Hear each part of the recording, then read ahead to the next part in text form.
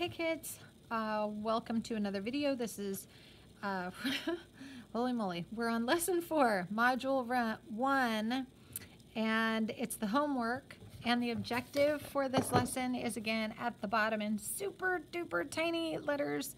Use exponents to denote powers of 10 with application to metric conversions. I literally made the sound, ugh, when I saw what lesson it was for today. Sorry, it is just one of those brutal lessons. Now, it's going to help you if you go watch not only the problem set video, but I made another video about King Henry died unexpectedly drinking chocolate milk.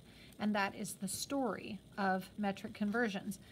Um, if you have seen those, then you understand what I'm going to be talking about. And I have made myself a cheat sheet you could make one for yourself if you would like to have it in front of you while we complete this lesson. Um, let's get into it and I'll show you how the cheat sheet can help you. These would be place value columns, just a simple piece of binder paper will do. In your place value chart, when we do metric conversions, we're using place value positions to kind of hop. If you think about what we've been doing, we've been doing like a times 10. Each digit as it moves into greater place value positions has 10 times the value as the digits in the lower place value positions. Conversely, or the opposite, if you're going to positions to the right, okay, this position has one-tenth the value as this one. So if you go to the right, this one has one-tenth the value of this, and so on and so forth. So that's going to help. I can put that up as we complete the homework. But again, please try to know what you're doing. Don't just copy these. Have the sound on so that you're listening and learning. The whole purpose of these videos is to learn the material. And the objective is to know how to use the exponents to show the powers of 10 and to convert. So anyway, task one is to convert. Task two is write an equation. Also, kind of a task three, use an exponent. They're telling you to use a meter strip. You probably don't have one. If you're in my class, you will have one. This is a meter strip. It's a full meter long.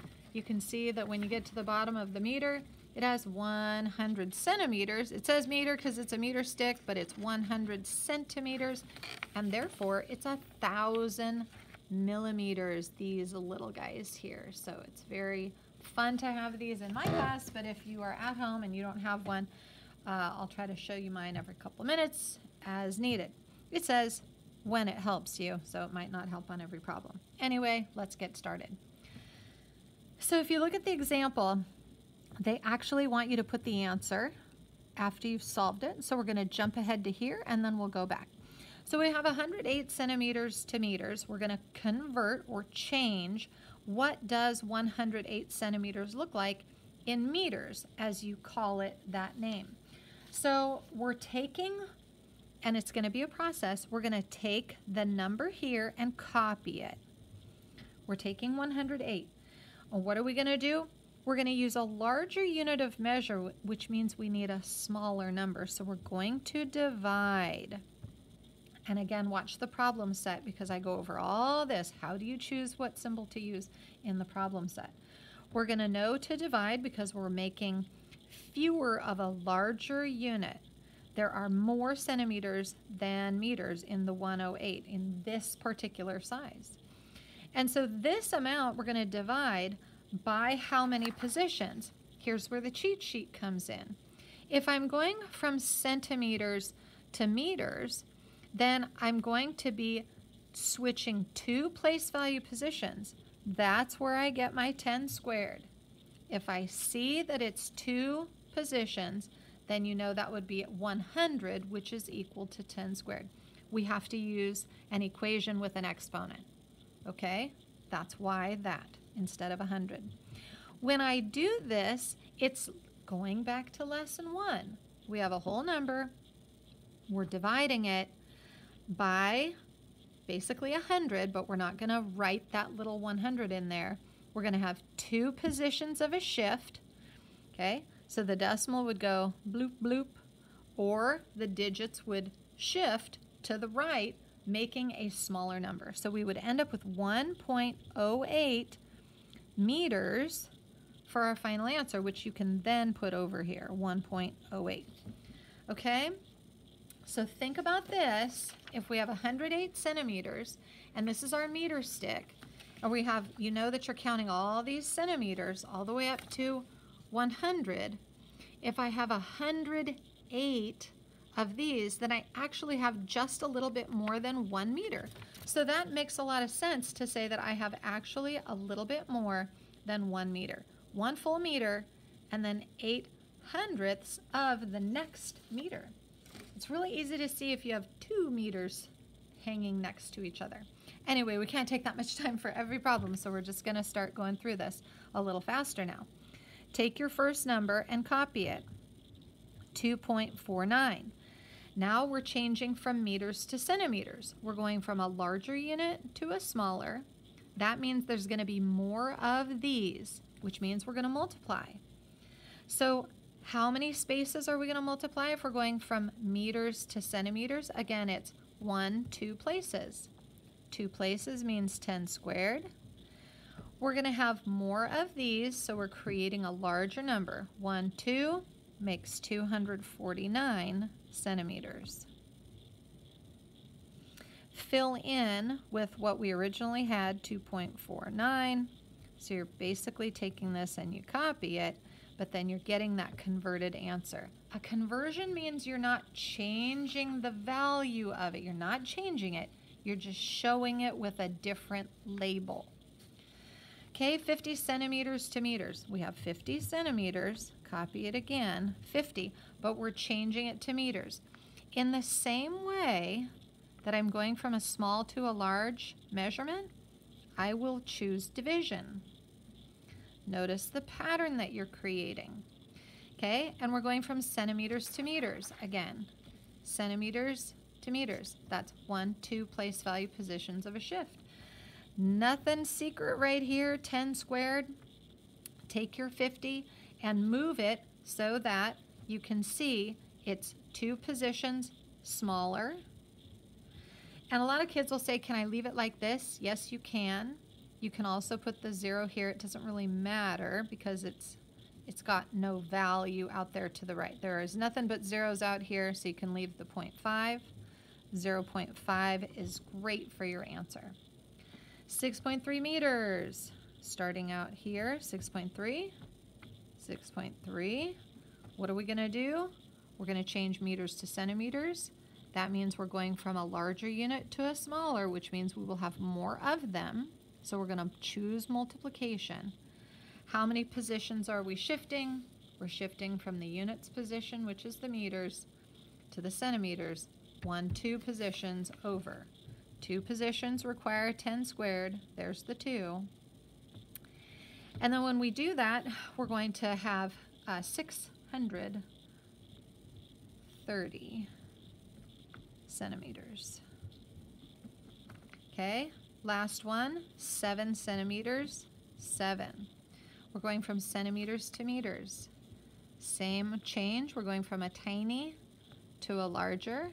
That means it's division centimeters to meters. That's two positions. That's where you get your 10 squared. If it's only seven, that's really a tiny amount. And so in changing that to meters, that's gonna be a shift, one, two. So it's only 7 hundredths of a meter. And again, in my class, we will have done a lot of work with the actual meter sticks, so it'll kind of make more sense. Okay, in the space below, list the letters of the problems where smaller units are converted to larger units. So you're looking for smaller to larger. So centimeters to meters. That's going to be here, here, here. The list the letters, you're just listing it. B, D, F. That's all. I know, big space, little answer. Number two, convert using an equation with an exponent. Same thing, use your meter strip when it helps you.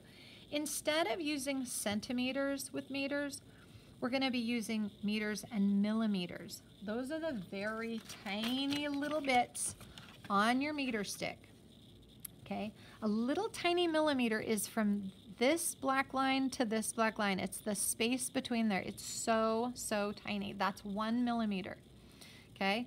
And then you would count and you would say, okay, that's one, two, three, four, five, six, seven, eight, nine, ten. 10 millimeters equals one centimeter. And so when you know these conversions, you're going to take that and you're going to use it with larger measurements. Now we're going from millimeters to meters. Now the millimeters are over here, three positions away from the meters. So what do you think your exponent is going to be when you're changing from meters to millimeters or millimeters to meters? It's going to be 10 cubed. So that'll be our factor when we write it out over here. Same thing, going to copy this first number, 4 meters. Look for the label to show you where you are. I'm at 4 meters. Copy. We're changing from meters to millimeters. I'm going to have a whole lot more of those. That means it's multiplication and our scale factor. The factor we're multiplying with to make the change is going to be 10 is our base, but 3 is our exponent. Not like up above, it's three place value position hops. Okay, from meters to millimeters, it's a one, two, three. If this is our factor, and you have your 4 times 10 cubed, this would be like a 1,000. So 4 times a 1,000 is 4,000. And that's millimeters. That's our new label. And here's where you put your answer. Okay? If ever you want to pause and just go on ahead and see if you can do it, that's a great strategy. And then I'll just finish up and you can check after you do the work. Again, take the 1.7 meters, 1.7, 1.7, this time, well, we're changing from meters to millimeters again, so it's going to be multiplying. Okay, we're not just alternating, you're thinking. What are we changing? So 1.7 is our first factor that we have to change by what? It's three positions, 10 cubed. That means it's a three position shift, and I need to have a larger number when I finish. So if I move this from the ones place to the thousands place, I would end up with 1700 or 1700 millimeters.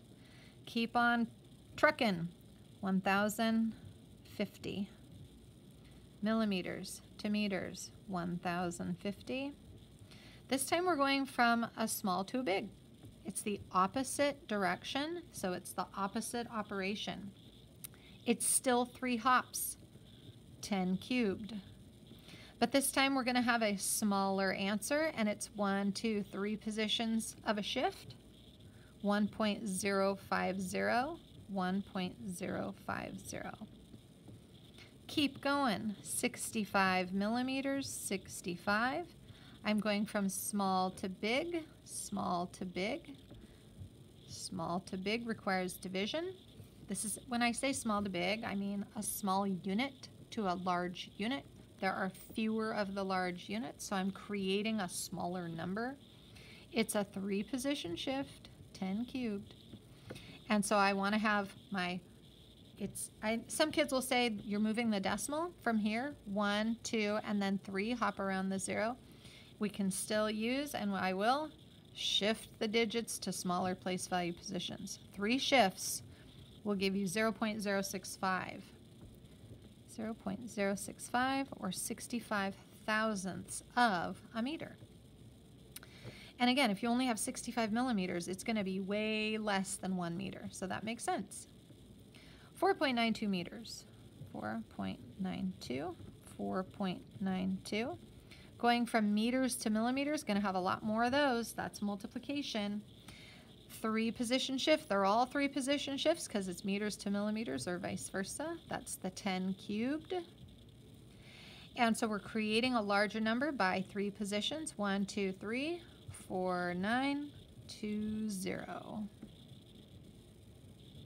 4,920. Next one, three, three. Three millimeters is so tiny. So how many meters is that? It's way less than one. We're going to be dividing. So we're going from a whole number to a teeny fraction of a number. And it's going to be three positions of a shift. So it'd be tenths, hundredths, thousandths. One, two, three. There you go. And then in the space below, list the letters of the problems again where larger are converted to smaller. Larger to smaller, larger to smaller, larger to smaller. A, B, E. Okay? I hope you're getting it. It's kind of that whole pattern thing. It just really develops and you have to kind of catch on. Okay, doing all right here. Here we go. Now read each one aloud as you write the equivalent measures. Remember, we're just converting. Write an equation with an exponent you might use to convert. So here is your number.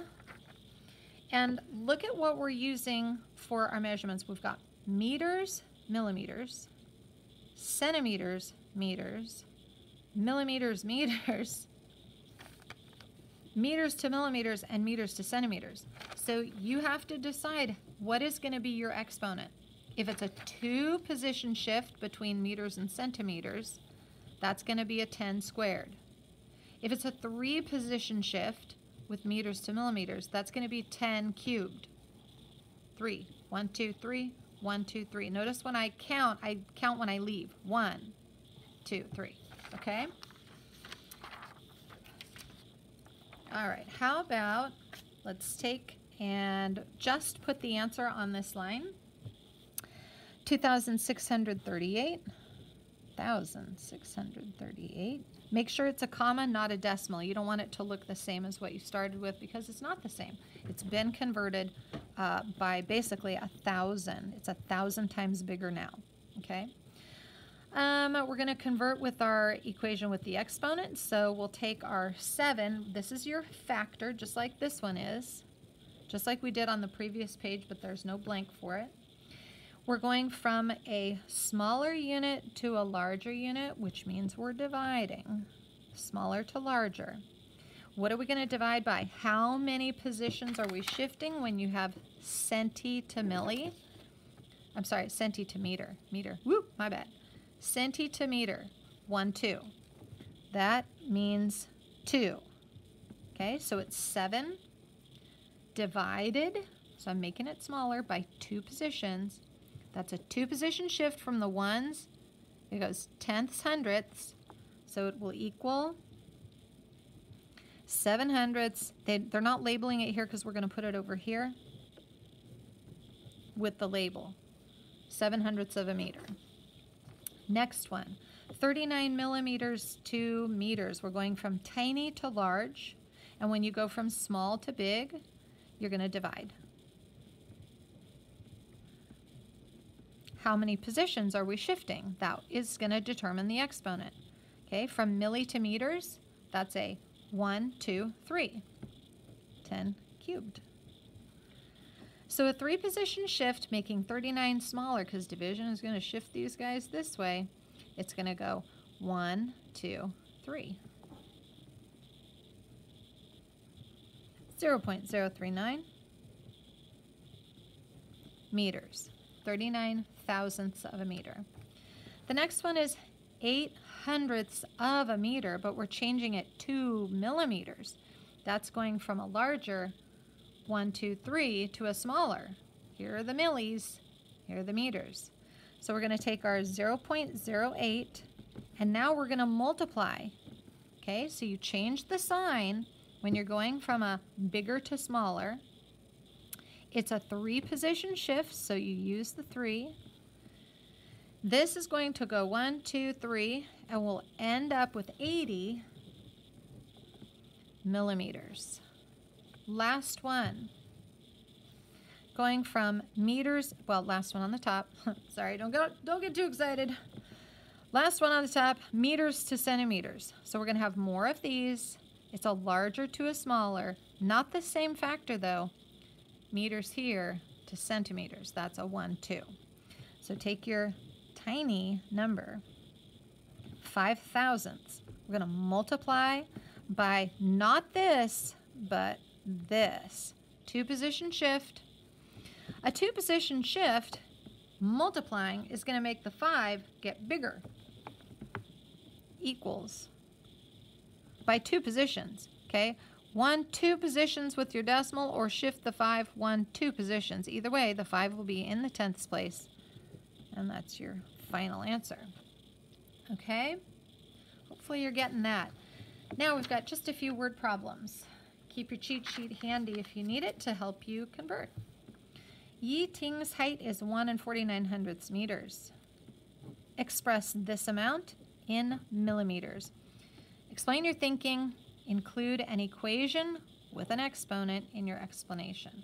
Okay, so we're going to take the 1.49 meters and we want to show that 1.49 in millimeters. So you're taking a larger, oops, I should have put, let me squeeze that in there, in millimeters. We're taking a larger unit and we're changing it to smaller, okay? When you take a larger and you change it to smaller, you're going to multiply because you'll have more of these. Look at how many place value positions we're going to hop. Okay, we're going to multiply it's a three position hop, so use your cubed. We're going to shift the digits to the left to make a bigger number, or think about one, two, three positions to the right. And then that is your 1,490 millimeters is your equivalent amount from meters to millimeters.